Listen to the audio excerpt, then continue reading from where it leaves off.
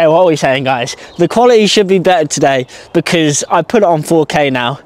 Um, I was wondering why the settings and stuff like why it looked bad, but should look better today.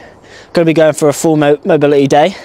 Absolutely freezing out here, absolutely freezing, but consistency is going to be the biggest thing that makes the difference. Like if you have shit days, you're going to have shit days.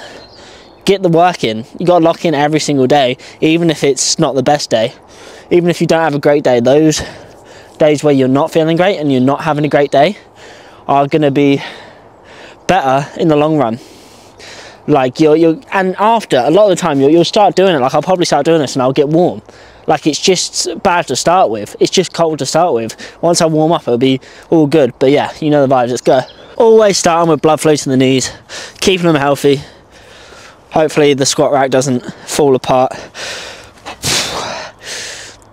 Oh, I'm still so sore from, I done the workout that you guys saw two days ago.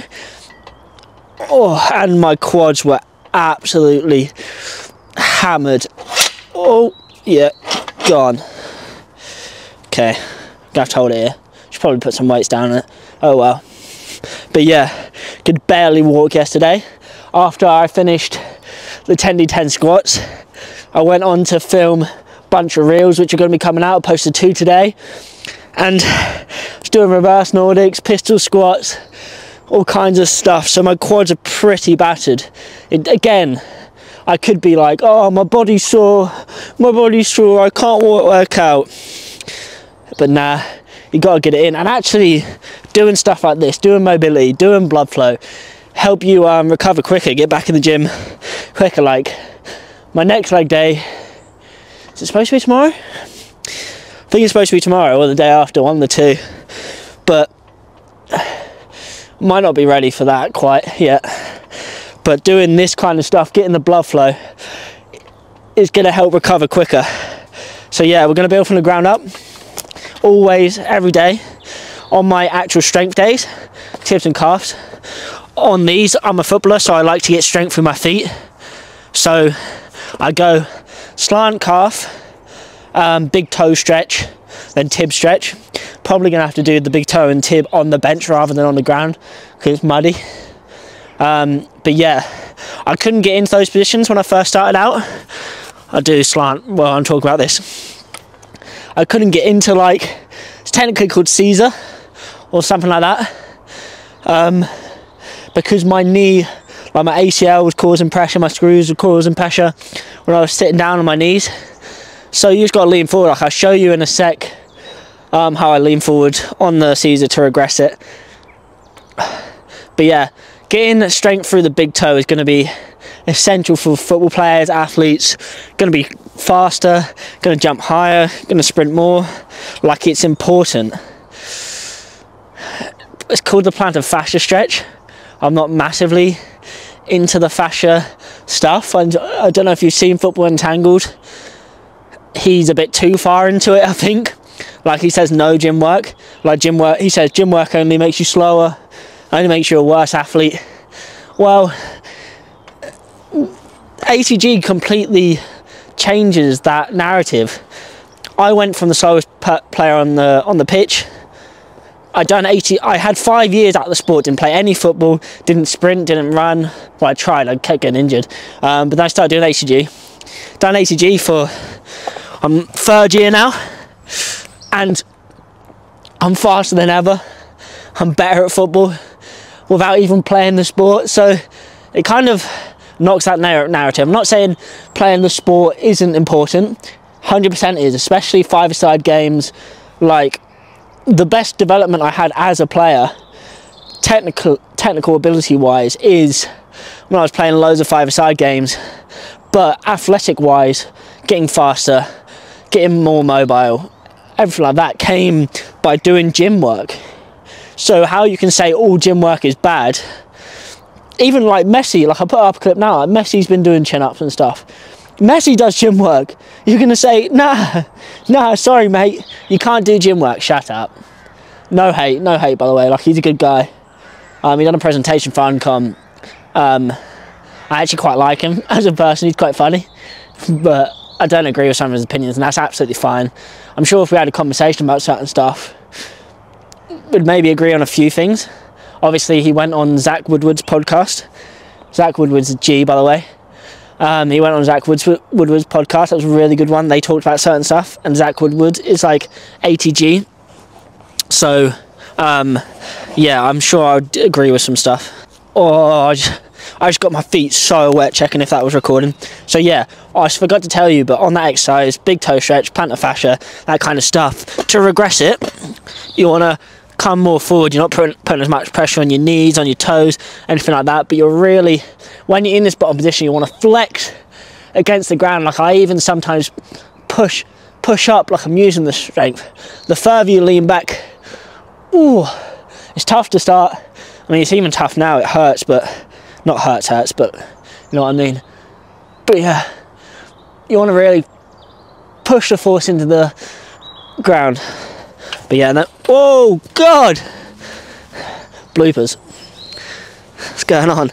But yeah, slant calf into big toe into tib stretch. You want to put. You can start even with the tib stretch just on the flat. I elevate it now so I got a bit more advanced. Again, leaning forward's going to regress it, leaning more back, going to open up more, be harder.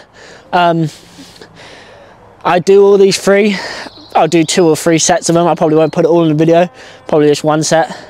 Um, but key for footballers, like your key for all athletes really, your first point of contact with the ground is your feet. So you want to make sure they're mobile, want to make sure they're strong, again you can end up moving, getting some work in, like pushing through the top of the feet, getting the strength in. Like this is going to be tough if you have knee injuries to start with because oh, you're not going to be able to sit on your knees like I can here. Like I remember I couldn't sit on my knees like this even recently because like I have screws in my knee, like I have robotic knees. but so when you have stuff like that in your knees, sometimes you can never restore it. Like you can, everything's restorable in my opinion, but it's just going to take time. Like it's anything like progressive overload. I was talking to a rehab coach in Uncom as well. Um, he was saying I was talking to him about deep squats on my knees. Like once I get to about two minutes in a deep squat now, it used to be like 30 seconds. It starts to feel the pressure of the screw in my knee, and he was like, "Yeah, it's just progressive overload." Like try two minutes and one second next time if you don't feel the pressure then. But so yeah, it's everything's progressive overload at your pain-free level. That's important. So yeah, on the slant calf, you want to drop your hips into it, flex, flex your tibs. You you can put your other foot down and get more into it. You can have your other foot back here, but you don't want to be back here. You want to really feel the stretch to start with you'll probably feel it more in the upper calf in the gastroc as you get more mobile like now I just really feel it in the Achilles in the stuff down here so that no you know your ankle mobility is getting better but to start with I used to have real kite tar kite tars tight calves so I would feel it all in the gastroc but now literally it's just in the Achilles for me really. Right now anyway. So yeah, there is lots of work you can do and it all adds up. Like, you wouldn't think sitting in something like this is going to help your knees, but it is. It's going to help all parts of your body, especially because like our philosophy in ATG is built from the ground up. It's in most traditional training, we strengthen the hips, we strengthen our deadlifts, our squats, everything like that but all these small muscles. Do you know how many muscles we have in our feet and how many bones and stuff? It's crazy, and we never do any strengthening for them, and we clamp them into these these shoes. And football boots are the worst. Maybe that's something I do one day. I create football boots for actual feet-shaped feet, because they're awful. Like I remember, I've been wearing like they're here uncivilized sneakers for a while now, um, and just doing barefoot training in the gym and my feet started to get better, like spread out and that kind of stuff. Went back to playing football, and I tried to put my football boots on after the game. My feet were cramping so much because your your feet are literally like in in these things. Like it's it's crazy. Play, ground yourself. Play barefoot. get barefoot shoes. Obviously, don't do it straight away. Like, again, everything's progressive overload. If your feet are used to wearing shoes, they're used to wearing all these unnatural things. If you go into playing barefoot straight away and you go into wearing barefoot shoes straight away, it's gonna hurt your feet. You're gonna get injuries. So progressive load it. Like first try some barefoot shoes and then wear them like once a week, then twice a week, then do training barefoot once a week. Like build it up. You don't have to do everything at once. Everything is gonna add up over time. Yeah, like this kind of exercise as well. Once you get more advanced, is that it's not only stretching out my feet now, stretching out my quads, stretching out my hip flexors. But this is because I'm quite advanced in it. Like when you're starting here, that's pretty much just feet and then some pressure in your knees and stuff. Even if I take this walk alone. Got Justin Mucci coming on the knee pain workshop. It's gonna, he's to be there on the Thursday. We haven't sorted out the time yet. Um, but he's going to be presenting on the importance of the back of the knee, opening up the back of the knee, which I'm going to be doing some of today. So we've just done some lower leg stuff. So we'll go up the chain now. Probably either... Sometimes I like doing Jefferson curls first. Sometimes I like seated good mornings first. I'll probably go... I don't want to get my knees dirty as well, doing couch stretch. Um, yeah, we'll, we'll do Jeffersons first, and then I'll do good mornings after. I usually do it the other way, but I was just talking about opening up the back of the knee. So I'll show you where I've got to. I started with elephant walks back in the day on the zero A to G program, and that's where you need to start with these kind of introducing your spine to rounding. Like, it takes time. Now I can hop into it and get down in this bottom and bounce down here because I've been doing it for a while. If I was to do that straight away, I would hurt my back. So start with start with elephant walks down here, up here. You can even start up here and just get used to being in that position, get used to straightening your legs, and then work down, work down until you're on flat ground, palms on the ground, and then you can do some Jeffersons, then start to add weight. Probably go to about 40 kg today, maybe 50. We'll see.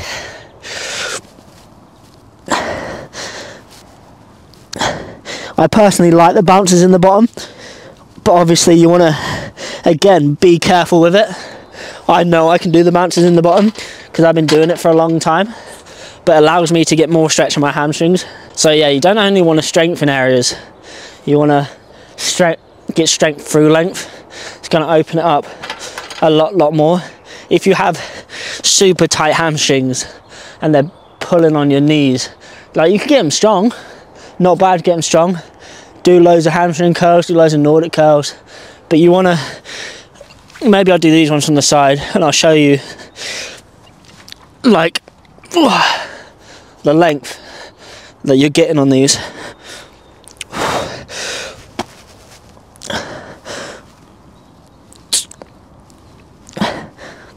Like it's literally a loaded stretch. Like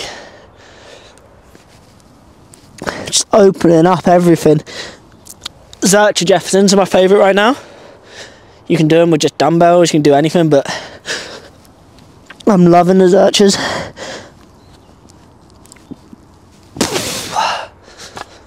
Yeah, I'll probably go 40 today. Strength in my hand. I'm excited for the knee pain workshop. I haven't put the details up of the days yet, but what's looking like is Monday is going to be training principles, like the importance of certain stuff. Tuesday is probably going to be into the nutrition and recovery.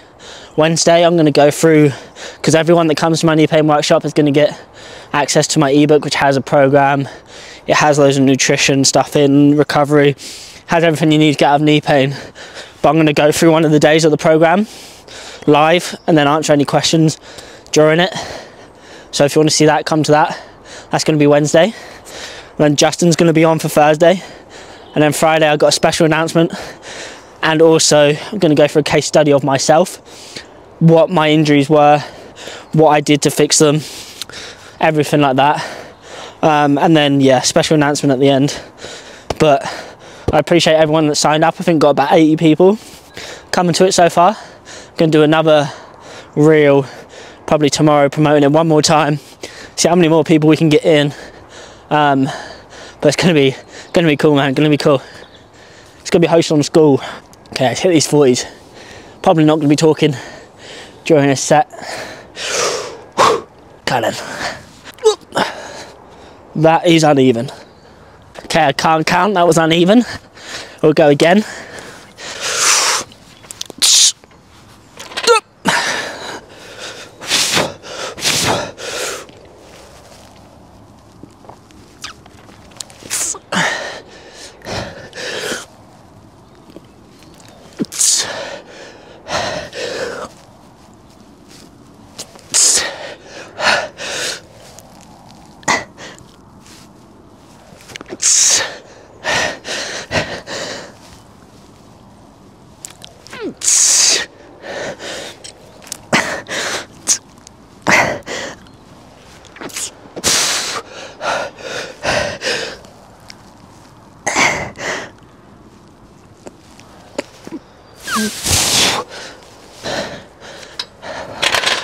Stress the importance of not rushing into weighted version of these. I think Ben Patrick even says like he just stays at like quarter of his body weight and just goes for the massive stretch on it rather than going heavy.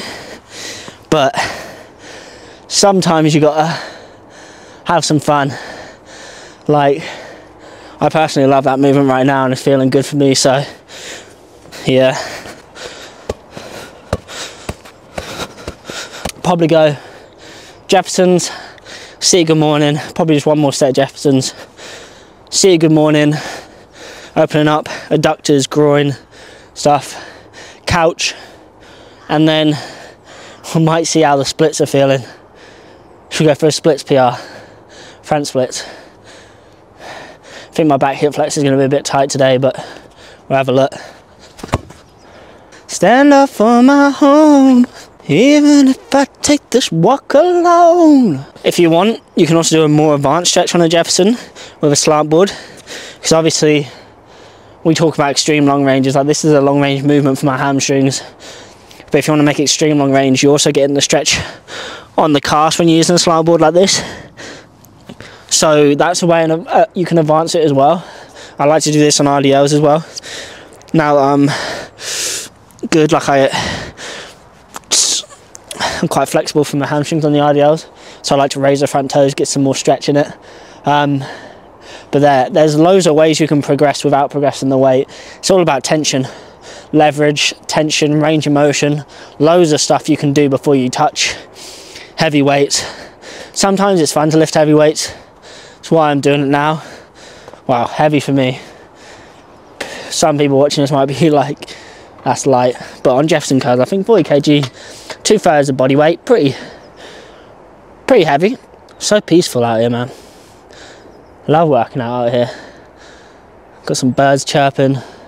Got the sheep watching me again.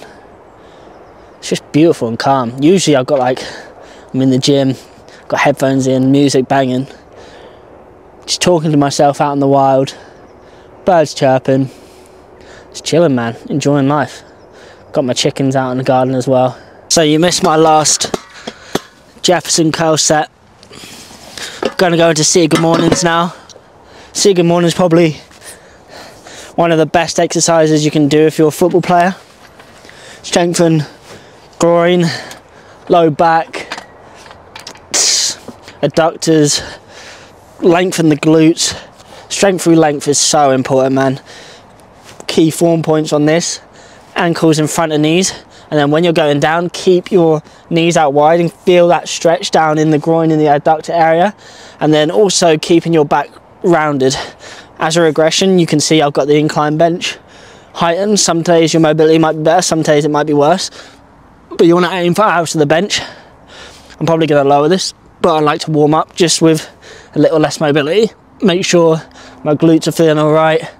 My adductors, if you go through, if you go into a strength through length exercise and you go straight into the bottom portion, look, I hurt my glute before because I had like 50 kg on the bar I was like, oh, I'll just go into it. And I went into it, and like I had like a a glute strain for a while, which I just fixed with short range exercises, and then slowly progressing back to where I was on the Seated Good Morning. But yeah, low back strength is super important for um, overcoming inertia and sprint in the first 10, 5, 5, 10 seconds, getting off the mark. Posterior chain stuff is, is good for sprinting in general. You want to be as, as balanced in the front and the back. Um, see, good morning, it's just amazing exercise though. Like, I think it was Louie Simmons or Charles Poliquin said, strong people have strong low backs. So, worst comes to worst and you don't know what to do, strengthen your low, lower back because everything else will get stronger. Um, it will also help with your squat, both the depth and the strength in it. So amazing exercise, you've got to do it. This combination of Seated Good Morning and A to G split squat. I'm not going to do split squats today, but just in general, if you do a su superset or just the two exercises in general, um, it's amazing. It opens up that groin, strengthens the front and the back. Like they're the probably two most important exercises for football players. Not not saying you should skip out on anything at all. We want to make everything equal. We want to be structurally balanced. But if I were to pick just two exercises for football players, probably be the Seated Good Morning and um, the ATG split squat, most likely. Okay, let's go.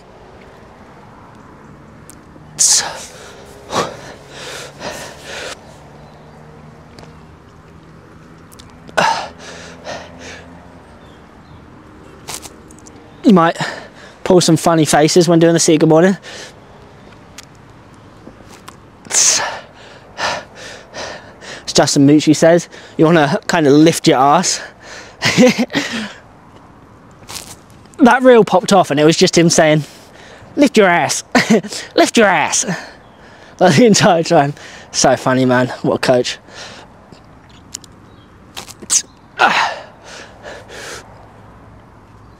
But yeah, over time you really want to work to flat bench good mornings. Probably about 66% of your body weight on the bar, at least. This right now is 30, so about half. But we're going reps, so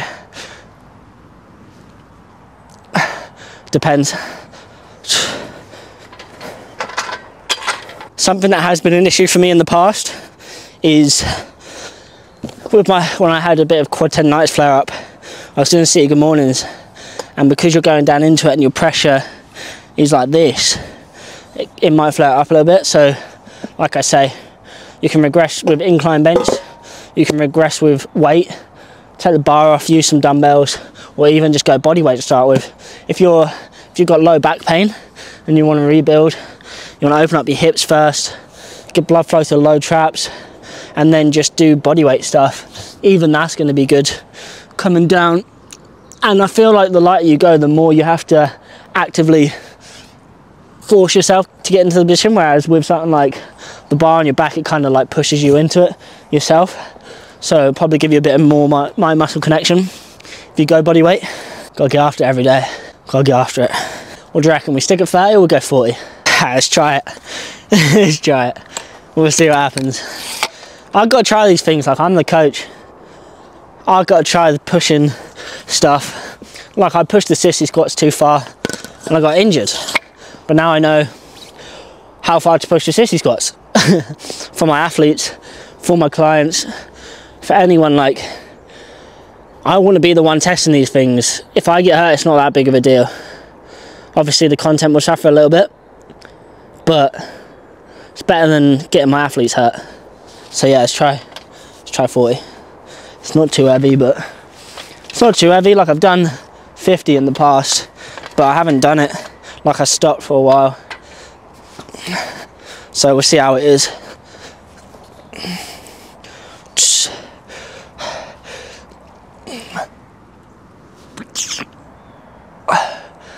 Heavy.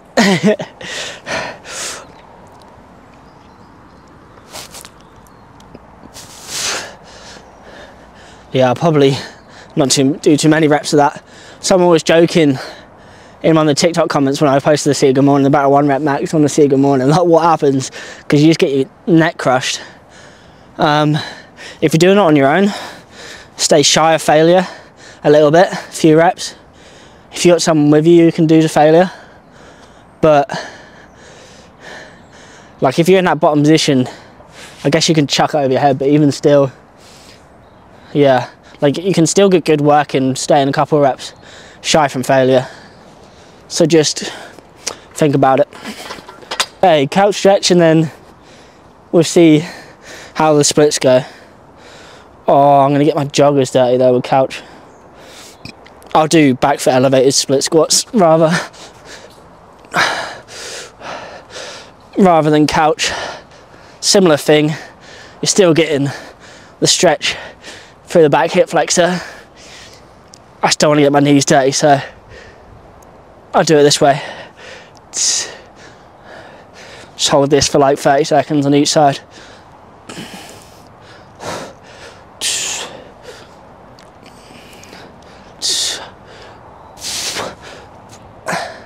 Sometimes I like on a normal ATG split squat to elevate the back foot a little bit off the ground so you get more hip flexor work. Depends on what how flexible you are, where your current position is. Like to also sometimes put a bar just on the upper side of my glute, push down into the hip flexors. But like I say, depends. It depends. That's one of the answers like I give to people a lot in my DMs, like I feel bad. But people ask me, what should I do for this? What should I do for that? I'm like, it depends.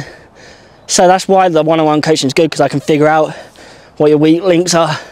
I can figure out what we need to do rather than someone message, okay, I have this issue, what should I do? Like it depends, mate. Really, really depends on what your weak links are. Like some person can have knee issues because they're tight through the hamstrings, tight through the hips.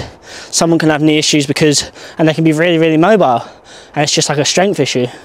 So everything's individual. The good thing about ATG though, you kind of cover most of the bases. Like we do strength through length, so we're getting more mobile and we're getting stronger and we're building from the ground up and we're doing our hips and we're doing our lower legs and we're doing our knees and we're doing our everything. So we're thinking it more as like a no weak links rather than a let's just do this one thing and you'll get fixed. They're all crowded together today over the other side. Hope you guys can see them. We'll finish off the video here. So yeah, beautiful day. L loving being out in nature. Thanks for watching guys. If you got this far, I appreciate you. Head to my um, three day free five day workshop starting on 5th of February through to 9th of February, Monday to Friday.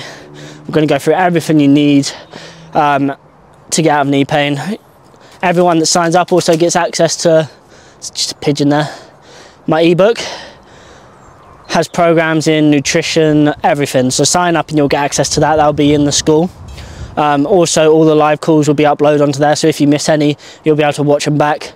Um, post your wins in, in the chat if you get any uh, with using my stuff, that'd be amazing. But yeah, I hope to see, see you there. But this has been my mobility day. Not perfect, but every day's not perfect. See you later, guys.